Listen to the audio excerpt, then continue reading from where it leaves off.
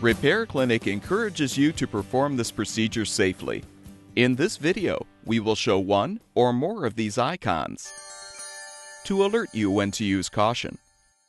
As with any repair, be sure you unplug the appliance before beginning. Your first step is to remove the screws to release the rear access panel.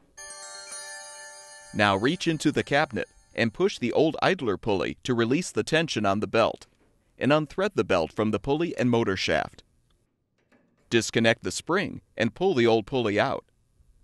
Install the new idler pulley by first attaching the spring, then slide the pulley onto the motor carriage pivot. Now rethread the belt onto the pulley and motor shaft in a zigzag formation.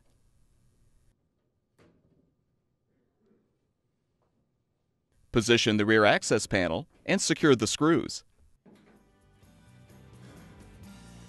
You're now ready to plug the appliance back in to make sure it's functioning properly.